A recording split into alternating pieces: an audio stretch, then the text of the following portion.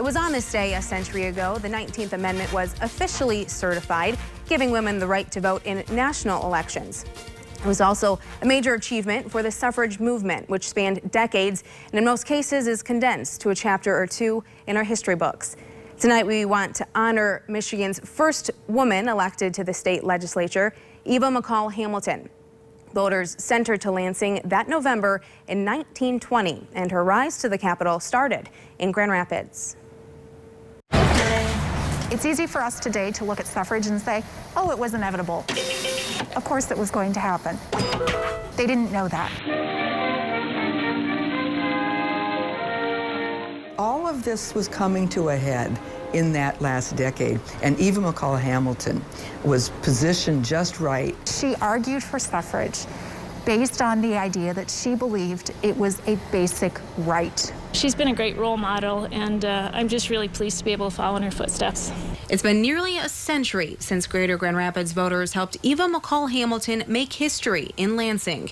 But she was a trailblazer long before walking onto the Senate floor. So many people take it for granted that she just showed up at the Capitol on January 5th and suddenly became a senator. She had been here for years. Right from early on in her career, in that last decade, she was working uh, city committees on city ordinances, famously about farmers markets, but other things too.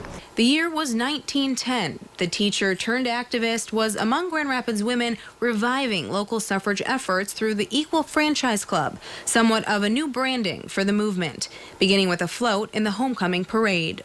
She was the woman who was driving the team of horses on this float in the Equal Franchise Club parade. We talk about that era, that last decade, as one full of flash and spectacle, and they knew how to use the newspapers. Women always had, but in a different way. This was much more in your in your face. That approach resulted in a suffrage takeover at the Grand Rapids Press 4 years after the local revival. Rather than making the headlines, Hamilton and other women were writing them. The press actually changed out its masthead in 1914 with an image that shows in Greek, you know, robes, flowing robes, women of the states who had been enfranchised with Michigan in the rear in shackles. She was the automotive editor. The takeover of the press had a lot of humor in it. There's a cartoon that shows men's positions on suffrage behind a fence in front of it or sitting on it. In the years following, Hamilton balanced her role in the suffrage movement with local initiatives and a platform earned during World War I.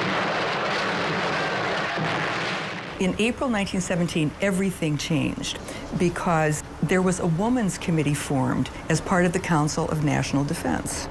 And practically overnight, the network of women's clubs, the suffrage movement, performed. And there were something like 17,000 women's committees that started up nationwide. These women could just pull out programs that they'd been working on for decades, but getting almost nowhere. Very rarely did they get something pushed through that they wanted for the welfare of people who otherwise had no voice. By that time, Hamilton had no problem using her voice, advocating for what we now know as farmers markets. She got a lot of publicity. It was reported that she whipped five aldermen. And she was a rather colorful figure. She'd go around everywhere with a basket of vegetables. Saying this to a reporter in 1917, the retail market will become a permanent institution in Grand Rapids. Early themes in her life had informed what she was doing in women's clubs um, in, during the suffrage movement and the World War I committees where they were working on working on health issues, and that carried her right to Lansing. This is an image actually of her sitting out on the Capitol's front steps, mm. which I've always found kind of amusing because ladies don't normally sit on the ground in that era. Nearly 10 decades have passed since Hamilton's election in November 1920 because this was such a watershed moment in America, her election actually received national coverage. She was trying to walk a fine line. There were a lot of men who were very unhappy that she was in the state senate and she had to initially say things like, I'm not here to start a revolution, I want to get things done. The portrait that sits in the Senate chamber is a reminder of the added obstacles Hamilton faced back then. There's discussions about what they're going to call her. Is she Mrs. Senator? Is she the lady senator? Even still, she did what she set out to accomplish in her one term tenure. She's right here in the middle with her hat on, looking very proud. Successfully passing seven of the 12 bills she introduced, a notable one being a change to the Mother's Pension Act. And this act um, provided county assistance for single mothers. So, mothers who were widowed, mothers who um, had dependent children. All the men are watching the governor. She's just smiling, saying, Look, I'm the first woman in the state of Michigan to ever get my own bill passed. Hamilton was a Republican, but much of what she pushed for would be viewed as progressive a century later. Issues like food security, uh, which I was just appointed to a commission that will be dealing with food security uh, issues and it took nearly 100 years for a woman to once again represent Grand Rapids in the Senate. I urge you. With Senator Winnie Brinks' election in 2018. She was such a trailblazer. Uh, and you know everything from just the fact that she won an election uh, in that year, the first year that women could vote, uh, to the issues that she championed. I'm really proud that I get to uh, work with Eva in a way still every single day when I walk in here.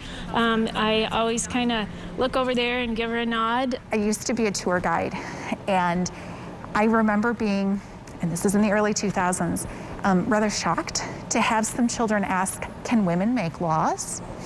And she's, she's evidence of that. We can point to her and say, Yes. Here's the first woman who did. And that's very important for children to know and children to see because it, it inspires. And we try to tell her story to remind little girls and little boys that the capital belongs to everyone in Michigan. We would like to thank the local history team at the Grand Rapids Public Library, the State Capitol Rare Book Room, and the Greater Grand Rapids Women's History Council for their help with making this piece happen. Two important things to note as well. One, Michigan women were enfranchised in November 1918. That's what set Hamilton up to run in the 1920 election. Otherwise, she likely would not have had enough time to get a campaign together and off the ground before Election Day. The second point, the 19th Amendment was not the end of the fight for voting rights. Voters of color still faced plenty of obstacles, including some from some of the leaders of the suffrage movement. The women's suffrage movement and had roots in the anti-slavery movement and many women's organizations were inclusive, but underlying racism was still present. Leaders like Susan B. Anthony and Elizabeth Cady Stanton focused more on white women earning the right to vote over all women. Even as late as 1918, leaders of the National American Women's Suffrage Association leaned into white supremacy as a selling point, as Jim Crow laws in the South purposely kept black people out of the voting booth. Women like Ida B. Wells and Mary Church Terrell are credited as leaders continuing the fight for black women. The biggest blow to Jim Crow laws didn't land until 1965 when Congress passed the Voting Rights Act. The fight persisted for Native Americans and Chinese Americans long after the 19th as well. And right now on our homepage, we take a deeper look at that history and share more historic photos from Hamilton's work a century ago.